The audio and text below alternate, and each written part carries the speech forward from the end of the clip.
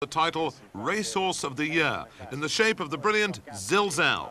And after an early success at Leicester in May, Zilzal went to Royal Ascot, a very inexperienced animal. Nevertheless, punters made him odds on, and with his exciting turn of foot, he never really looked like letting them down. Zalzal, the favourite, is cantering over on the far side at the moment. Tatsfield and Pat Eddery trying to get into the argument, two over on the far side.